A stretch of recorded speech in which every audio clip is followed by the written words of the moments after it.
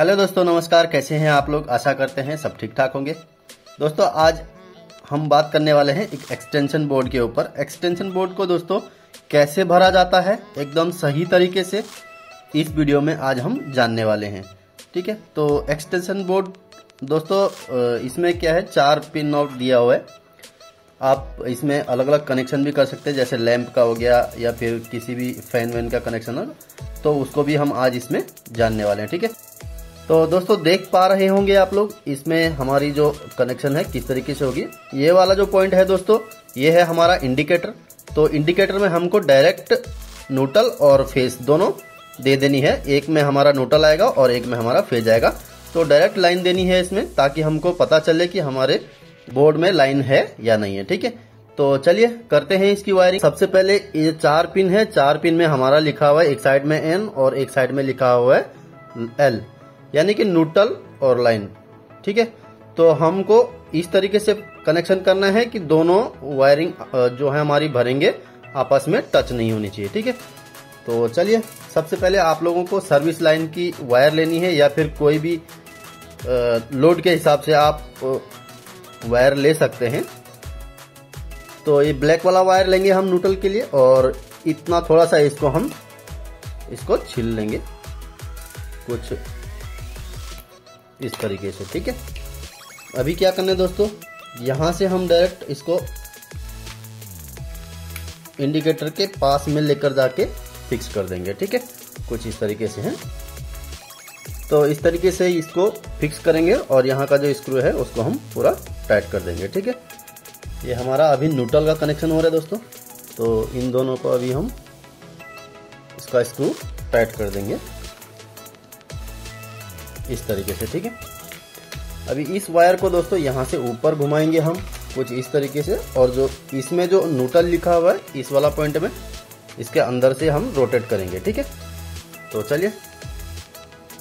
तो देखिए दोस्तों, मैंने इस वायर को यहाँ से पूरा इन करवा दिया है, और अभी जो ये ये वाला वायर है, इसको थोड़ा सा यहाँ पे हम कट कर देंगे, और फिर उसको आगे खींच करके स्क्रू टाइट कर देंगे, ठीक है?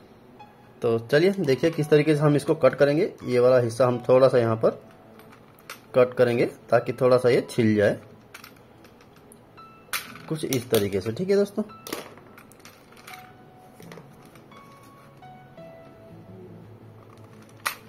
देखिए, यहाँ तक पूरा सा थोड़ा सा हो गया।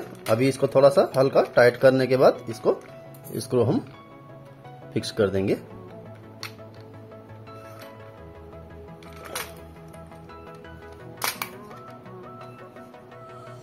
तो चलिए, हो गया यहाँ तक। अभी इस वायर को सीधा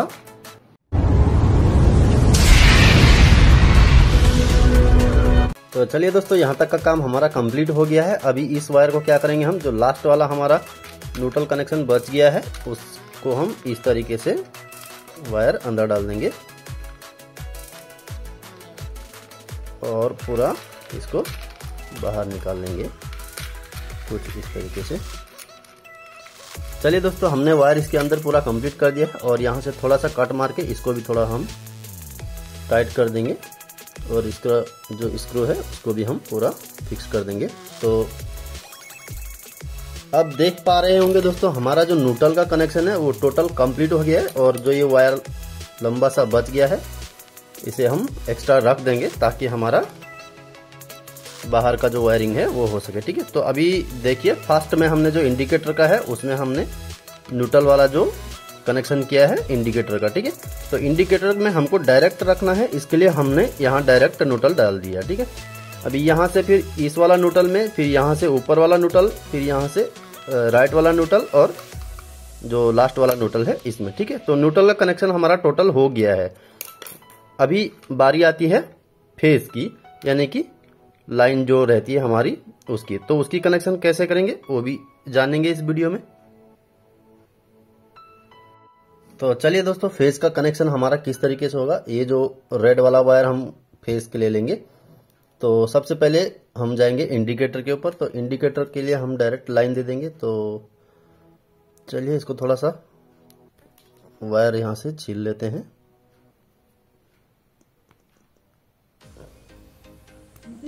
कुछ इस तरीके से। और इसका नीचे से हमको इन करना है इस तरीके से। जो हमारा नोटल कनेक्शन गया है, उसके नीचे से हमको इसको डालना है।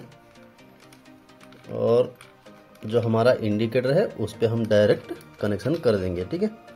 डायरेक्ट कनेक्शन करने के बाद हम इसमें, इसका जो स्क्रू है, उसको पूरा कंप्लीट टाइट कर देंगे। चलिए, हो गया यहाँ तक। अभी इसको सीधा हम ऊपर इस तरीके से हम खींच देंगे, ठीक है? यहाँ तक का हमारा कंप्लीट हो गया। अभी जो आप देख पा रहे होंगे, जो ये स्विच है, इसमें हमको किसमें फेस का कनेक्शन रखना है?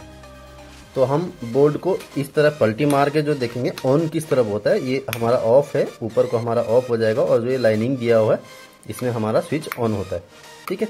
तो जहाँ जिस तरफ़ हमारा ऑन होता है, यानी कि इस तरफ़ हमारा ऑन होता है तो इसमें हमको मेन कनेक्शन देना है मेन फेस वायर ठीक है? तो यहाँ से हम इस रेड वाला जो वायर है, यहाँ से हम डायरेक्ट इस तरफ़ लेके जाएँगे और यहाँ से घुमा के हम सीधा ये वाला स्विच में डायरेक्ट नीचे लेके आएँगे। नीचे वाला वायर में हम डायरेक्ट कनेक्शन कर देंगे और छोड़ देंगे वायर को, ठीक है? तो दोस्तों, देखिए, हमने जो फेस का कनेक्शन है, वो पूरा कंप्लीट कर दिया है। आप लोग भी इसी तरीके से कर सकते हैं, ठीक है? ध्यान रहे न्यूट्रल और फेस दोनों आपस में टच नहीं होना चाहिए। तो ये जो हमारा रेड वाला वायर हमारा इंडिकेटर से गया स्विच के नीचे से, यहाँ से यहाँ हम दोनों, इन दोनों स्विच को शॉर्ट कर दिया है और यहाँ से नीचे से तीसरे नंबर का जो ऑन ऑफ़ स्विच है, उसका मेन पॉइंट में रख दिया, ठीक है? आप देख सकते हैं इसका बीच में कितना गैप है। मैक्सिमम एक एक इंच का जो न्यूट्रल वाला वायर है, उसका और जो फ़ेज़ वाला वायर है, उसके बीच में कम से कम आधा इंच का गैप है, ठीक है? तो ये हमारी, वैसे तो कुछ भी होने वाला नहीं है इस वायरिंग में तो फिर भी हमने गैप रखा हुआ है, ठीक है? अभी बात आती है इसकी ऑन ऑफ़ स्विच के बाद जो कनेक्शन होती है, जैसे अगर हमको पंखे में एक लाइन देना है या फिर लाइट में एक देना है तो उसकी कनेक्शन कैसे होगी, ठीक है? तो उसके लिए हमको क्या करना होगा दोस्तों, एक छोटे छोटे वायर के टुकड़े चाहिए होंगे, दो से तीन, या फिर जो भी है। आपको अगर पंखा इसमें लगाना है, इस स्विच में अगर आपको पंखा फिक्स करना है दोस्तों तो इसमें आप पंखे का एक वायर दे करके एक वायर को आप न्यूट्रल कर सकते हो, ठीक है? तो ये हमारा पंखे का वायर कंप्लीट हो जाएगा। इसी तरीके से आप दूसरा लोड कुछ भी अगर लगाना चाहते हैं तो लगा सकते हैं। अभी मेरे को इसमें स्विच अपना थ्री पिन टॉप में कनेक्शन करने हैं तो मैं यहाँ से डायरेक्ट इस, ये वाला जो हिस्सा है, यहाँ से एक वायर का टुकड़ा यहाँ तक मैं फिक्स कर दूँगा, ताकि ये स्विच ऑन ऑफ़ काम करेगा यहाँ पे, ठीक है? यहाँ से पावर इसमें जाएगा, इसमें से लाइन जाएगा, ठीक है? न्यूट्रल तो हमारा डायरेक्ट है तो न्यूट्रल के लिए हमारा कोई प्लग नहीं रहेगा तो हमें फ़ेज़ का लाइन यहाँ से यहाँ तक देना है। तो चलिए, यह यहाँ से यहाँ तक का वायर भी मैं लगा लेता हूँ। तो चलिए दोस्तों, हमारा फ़ेज़ का कनेक्शन पूरा कंप्लीट हो गया है। आप देख पा रहे होंगे वीडियो में मैंने किस तरीके से कनेक्शन किया हुआ है। आप भी इसी तरीके से कर सकते हैं, ठीक है दोस्तों? तो देख पा रहे होंगे, ये हमारा मेन लाइन ये वाला जो हिस्सा है, ये जो ये वाला फेस मेन है। ये यहाँ से जाके टोटल शॉर्ट होके यहाँ पे इंडिकेटर में गया हुआ, ठीक है?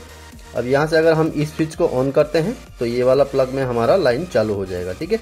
उसके बाद अगर हम इस स्विच को ऑन करते हैं तो ये वाला प्लग में हमारा लाइन चालू हो जाएगा। और अगर इस स्विच को अगर हम चालू करते हैं दोस्तों तो इन दोनों में हमारा लाइन चालू हो जाएगा, क्योंकि इसका कनेक्शन हमने एक में ही कर दिया हमारे पास तीन स्विच हैं और चार पिन है तो इसके लिए मैंने दो पिन में एक ही स्विच का कनेक्शन कर दिया, ठीक है? आप भी इसी तरीके से कर सकते हैं। कोई भी वायर हमारा आपस में टच नहीं है, सभी में स्पेस है तो इस तरीके से आप आराम से घर पर इसकी वायरिंग कर सकते हैं, ठीक है? तो लास्ट में अभी जो कनेक्शन बचा हुआ है दोस्तों, वो रह गया हमारा ग्राउंड का कनेक्शन तो ग्राउंड के लिए वन टू थ्री फोर ये जो चारों टॉप वाले जो हिस्से हैं, इसमें कोई सा भी वायर आप डायरेक्ट कनेक्शन कर सकते हैं। जैसे ये वाला वायर है तो इसको यहाँ से यहाँ से यहाँ से डायरेक्ट ग्राउंड का कनेक्शन कर सकते हैं, ठीक है? तो चलिए, इसको भी मैं कंप्लीट कर लेता हूँ। तो चलिए दोस्तों, हमारा वायरिंग का काम कंप्लीट हो चुका है। अभी आप देख पा रहे होंगे कि मैंने जो ये अर्थिंग का वाला वायर है, उसको भी मैंने कंप्लीट कर दिया, ठीक है? तो इसी तरीके से दोस्तों, आप भी कनेक्शन कर सकते हैं। इस तरीके से मैंने किया हुआ ठीक है? तो अभी इस बोर्ड को हम चेक करेंगे। इसमें हमारा लाइन बराबर आ रहा है या नहीं तो मैं इसके लिए ले लेता हूँ मल्टीमीटर और मल्टीमीटर में से दिखाएँगे आपको कि इसमें लाइन कहाँ कहाँ से कैसे कैसे करके आ रहा है, ठीक है? तो सबसे पहले देख पाएँगे, ये जो तीन वायर हमारे निकले हुए हैं रेड वाला हमारा फेस ब्लैक वाला नूडल और ये अर्थिंग का, ठीक है? तो इस तरीके से आप भी कनेक्शन कर सकते हैं, ठीक है? तो मैं इसमें अभी लाइन देता हूँ, यानी कि 220 बोल्ट जो सप्लाई है, इसमें मैं इन करवाता हूँ। तो चलिए दोस्तों, मैंने इसमें पावर सप्लाई दे दिया है। इस बोर्ड में आप देख सकते हैं, मेरे सारे स्विच अभी ऑन है। और इसमें इंडिकेटर हमारा चालू हो गया है, यानी कि हमारा पावर सप्लाई चालू हो गया, ठीक है? तो हम सबसे पहले टेस्टर इसमें देखेंगे, इसमें जल रहा है कि नहीं? हमारा कहीं गलत वायरिंग तो नहीं हुआ। अगर सपोज़ अगर हमारा कुछ गलत वायरिंग होता है तो हमारा ये बटन ऑफ़ करने से भी इसमें लाइन हमको दिखाई देगा, ठीक है? तो कोई भी हमें यहाँ पे पावर शो नहीं हो रहा है तो यानी कि हमारा पूरा कनेक्शन सही है, ठीक है? अगर हम इस वाला स्विच को ऑन करते हैं तो इसमें देखिए हमारा टेस्टर ग्लो कर रहा है मतलब ये इन दोनों में इस स्विच का कनेक्शन है तो हमारा टेस्टर दोनों में ग्लो करेगा, ठीक है? अगर हम इसको बंद करते हैं तो हमारा टेस्टर ग्लो नहीं करेगा, ठीक है दोस्तों? तो ये हमारा प्रॉपर कनेक्शन हो गया है, ठीक है? देख सकते हैं, इसका भी हम चेक कर पा रहे हैं। तो एकदम बराबर से हमारा बोर्ड काम कर रहा है।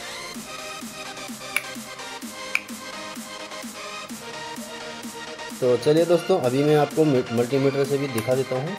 तो ये हमारा स्विच पहले ऑन ऑफ़ कर लेते हैं और इसमें मैं अगर दोनों वायर को रखता हूँ स्विच ऑन करने के बाद अगर हम मल्टीमीटर में चेक कर पा रहे हैं तो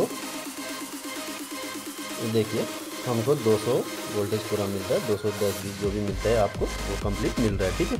तो हमारा बोल्ट पूरा, पूरी तरीके से कंप्लीट हो गया हो गया है। तो आशा करता हूँ कि आप लोगों को मेरी वीडियो ज़रूर पसंद आई होगी दोस्तों। और वीडियो थोड़ी सी भी अगर आप लोगों को अच्छी लगती है तो हमारा वीडियो को लाइक करें और हमारे वीडियो ज़्यादा से ज़्यादा शेयर करें। ठीक है दोस्तों? तो आज की वीडियो में इतना ही दोस्तों। मिलते हैं आपसे नेक्स्ट वीडियो में। तब तक के लिए धन्यवाद। नमस्कार।